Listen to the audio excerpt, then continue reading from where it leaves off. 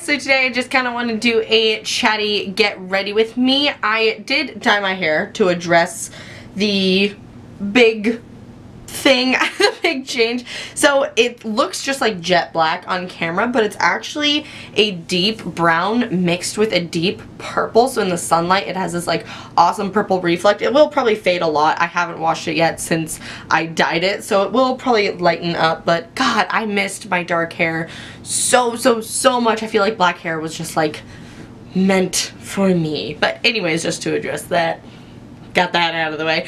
But anyways, I kind of I kind of want to do a more I don't want to say basic, but I want to do more of an average sort of glam look because I was looking through my YouTube videos and I was like, I haven't done a oh, babies. Benny hops up here and knocks down all this all this stuff all the time. I was looking through my videos and I realized I've done a lot of like crazy looks lately, which you guys know that's what I love to do on my channel. I always love to sit down and do more unique looks for you guys just because I don't get to do that a lot in everyday life. So I take my channel as a time to really express my creativity. But today I want to express my creativity in more of an everyday glam, but I want to do super bronzy. As you guys can probably tell, I have fake tan developing right now, so I'm kind of thinking like into spring and summer and just do a really, really glamorous bronzy look. So that's what I have in mind.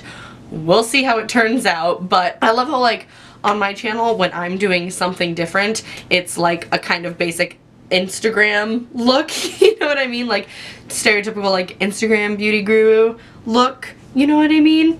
Does that make sense? You guys know what I mean.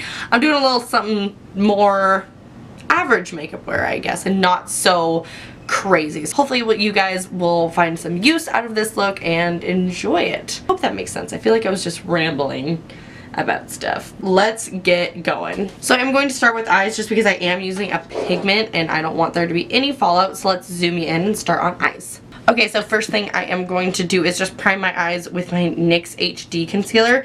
This is, oh, hate when that happens. This is in the shade 04, which is a awesome shade for me when I have fake tan on. Oh, I don't have a wet sponge. I guess we're using brushes today, guys, which I've actually been using brushes a lot more lately. I go back and forth, but I really do like how some brushes apply makeup. So, I'm not mad. So today you guys have been asking and I'm going to do a look with the Modern Neutrals palette from BH Cosmetics. I want to keep with, again, really bronzy, really warm, and I am going to put like a glittery shade on my lid. So these are all mattes, which I think will complement the glittery shade that I will be putting on my face. So let's get started. I think the first shade I'm going to take, let's take this kind of warm crease color right here. So I'm just going to take, this is, it really reminds me a lot of like Peach Smoothie from Makeup Geek. And we're just going to buff that. Just in the crease as a transition color. Nothing super technical here.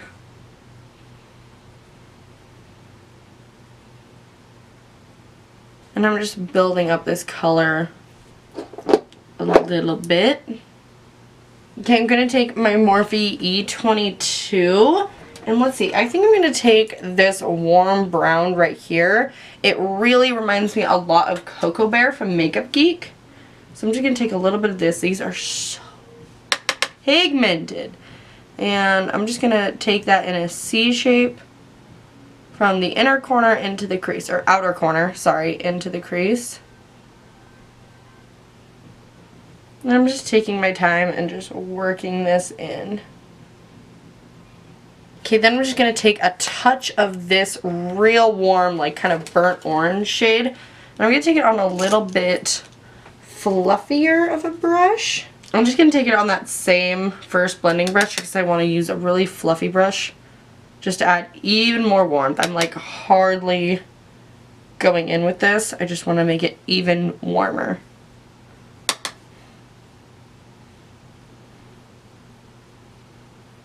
Okay, then I think we're going to go in with the lid shade and then I'll darken up the rest of the eye look. So I thought I was going to use a pigment, but I actually think... I think I'm going to use this Makeup Geek, um, what are you called? Or should I use this one? This one? Should I do more copper or more bronze? Oh!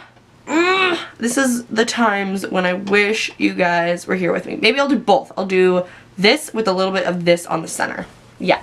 So, those shades that I am talking about, Flamethrower is the more red shade. So I'm going to first, I just like applying these with my finger. So I'm just going to first pop that all over the lid.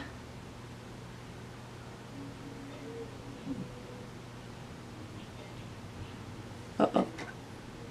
And then, oh, no, I forgot to buy more of my Aqua Beauty Primer Mist from e.l.f. So I think I'm just, just gonna wet my brush with my Urban Decay setting spray. Anything works for this. Water, any other setting spray. It kind of breaks my heart to use this setting spray for just doing this, but that's okay.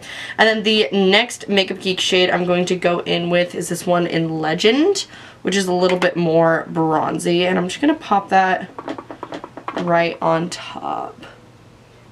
And just kind of combine them. Why is that?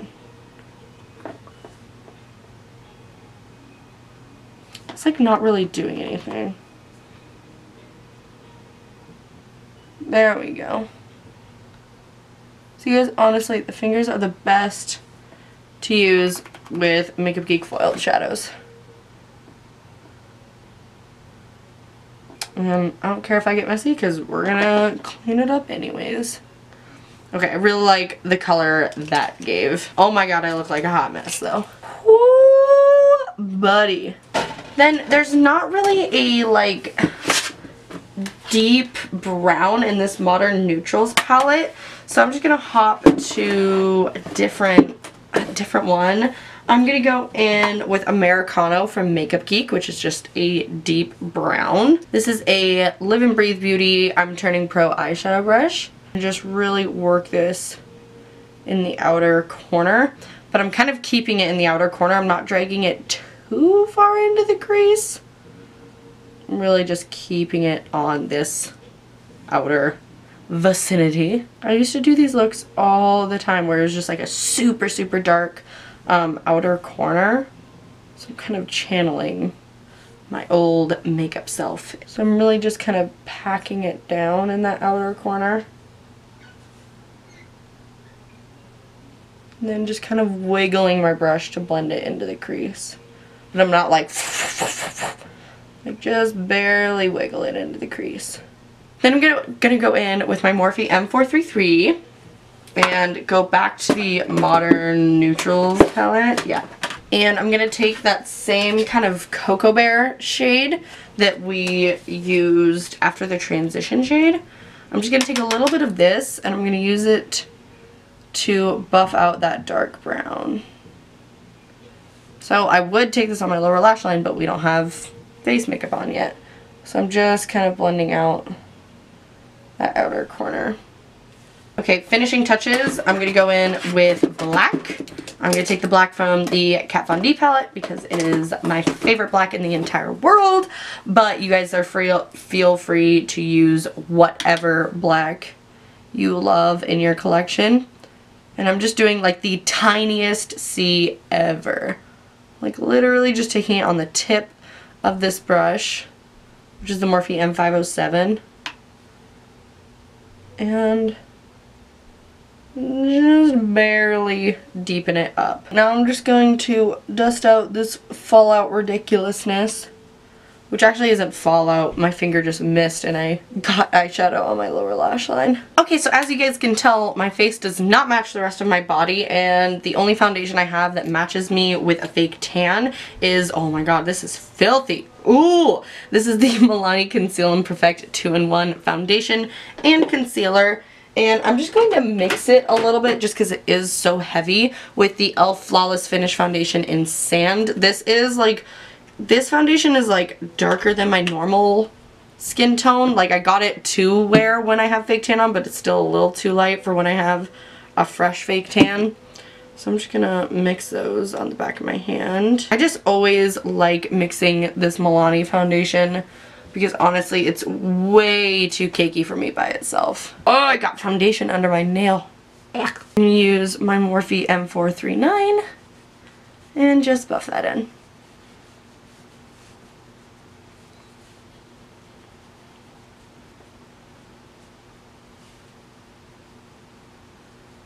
So I'm just going to take that same, where did I put my foundation? What the hey? Oh, I need to put all my pale foundations away from now.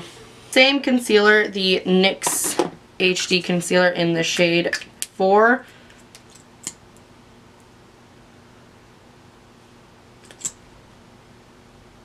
This highlight a little bit.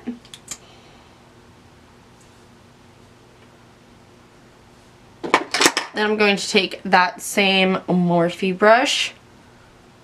I know Makeup Geek has a brush very similar. I don't buy from Morphe anymore just because I can't find anything concrete on their cruelty-free stance. All the beauty bloggers that I trust that like do, you know, cruelty-free blogging and reach out to brands, um, they haven't gotten anything back from them that's like can you prove that your suppliers are cruelty free and like all of that like the like more complex questions? Um, Morphe hasn't gotten back to them about that which you know could be just sheer laziness you know? Maybe Morphe just doesn't realize how important that is to cruelty free consumers.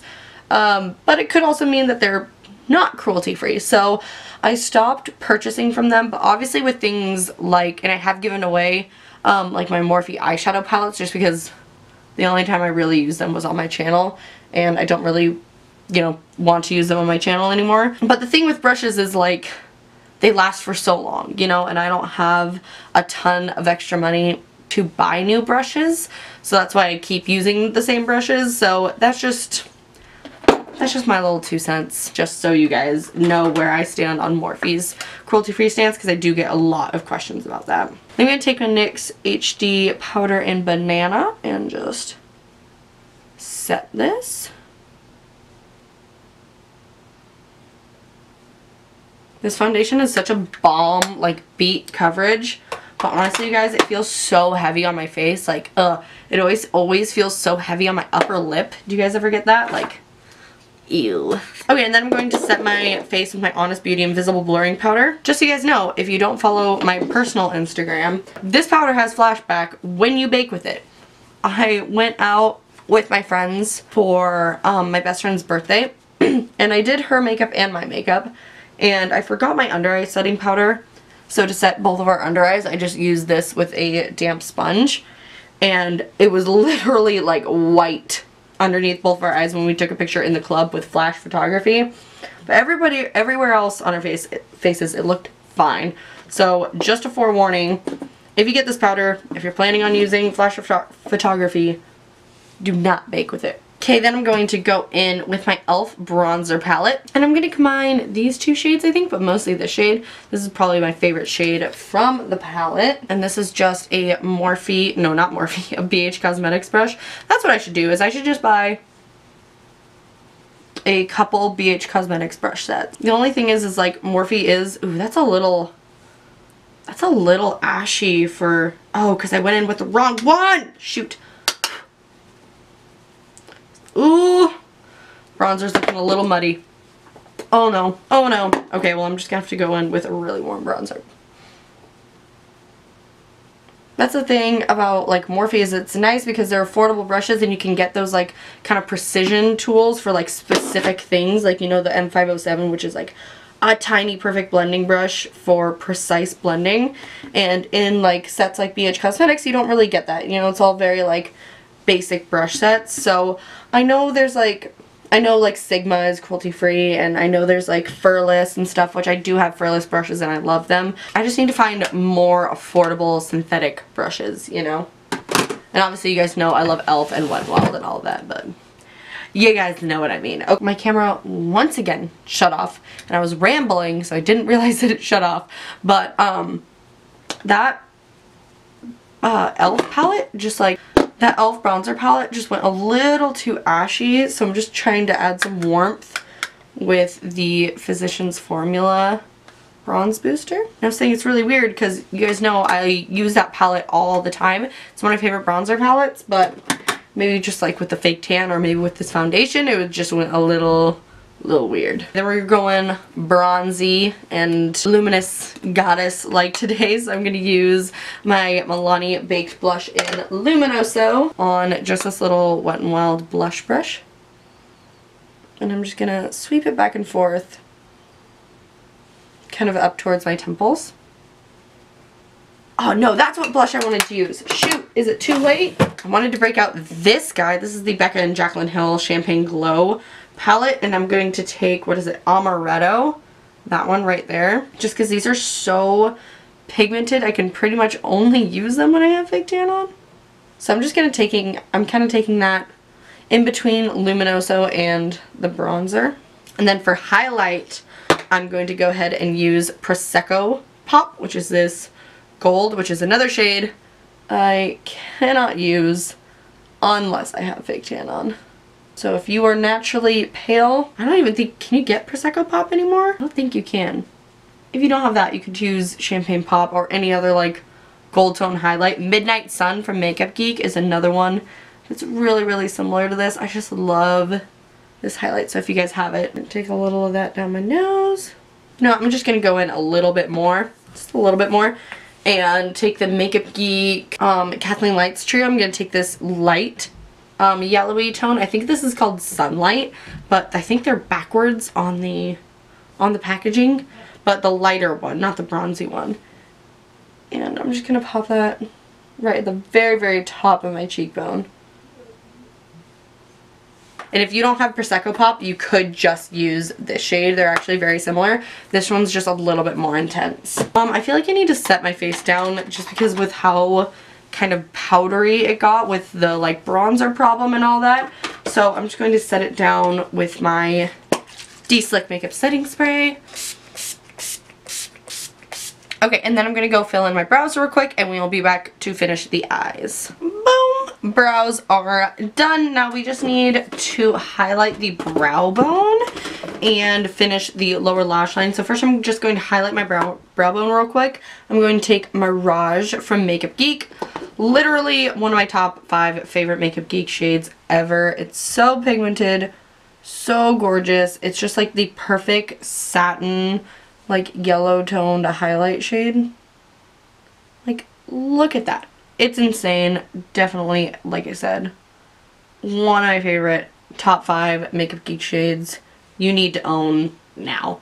I'm also going to take that and mix it a little bit with, actually I'm going to take it on a smaller brush. I'm going to take a little bit of that and mix it with Shimma Shimma. Kind of make a little cocktail and pop that on the inner corner as well. Not doing anything too crazy.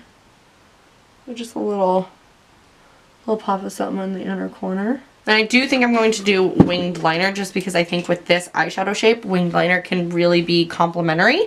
So I'm going to take my NYX matte liquid liner. The most like basic name for a matte liquid liner ever. And I'm just gonna do a, a wing. We'll see if it turns out big or small. We'll see.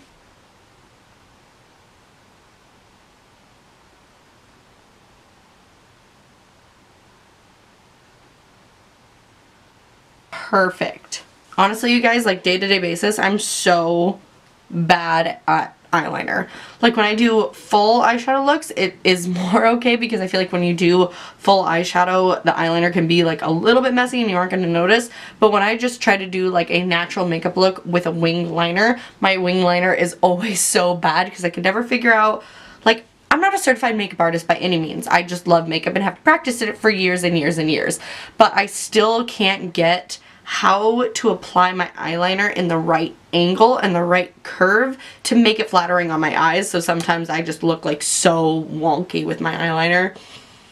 It's not fun, let me tell you. But practice makes perfect, so that's what I'm doing, it's practicing. Okay, lower lash line. I don't want to do something too, too smoky.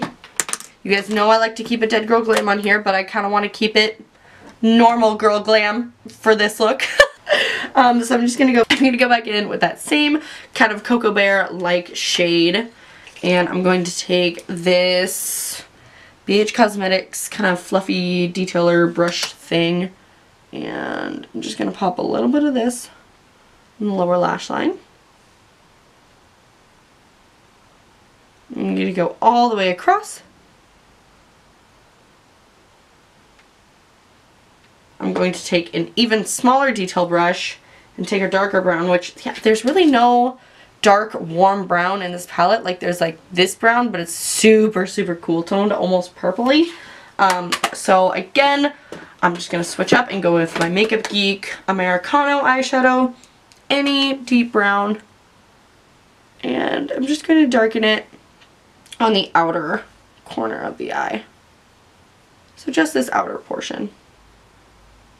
Okay, lashes, lashes. I'm gonna go ahead and break into a new pair of the Kiss Lashes in the style Gala, but I think first I'm going to apply my lip color, which I want to keep it super simple and use a gloss that I don't think I've used on my channel before.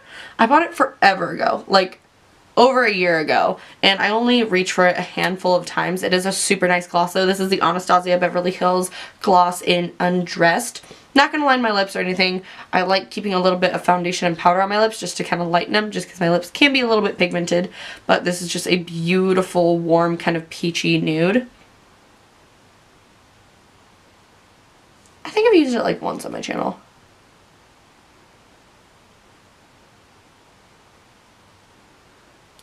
Okay, now I'm going to go apply some fake lashes and some lower lash mascara and we will be right back. Okay, you guys, this is the completed look. I called this my regular girl glam since we're so used to dead girl glam here on my channel. But I really, really like it and I think this is so applicable to so many different people. And if you want to make it a little bit more dead girl glam, just add way more eyeshadow to your lower lash line and maybe switch it with a pale, like, cool tone nude lip and maybe draw back on the blush a little bit. Maybe add a cool tone contour. There you go, you got Dead Girl Glam in this look but I really really like how this look turned out. If I don't do a lot of these sort of looks on my channel just because I feel like you can find them through so many other channels so I try to make the content on my channel a little bit more different you know because I feel like you could like you could literally search copper bronze smoky eye and probably a million and five results would come up.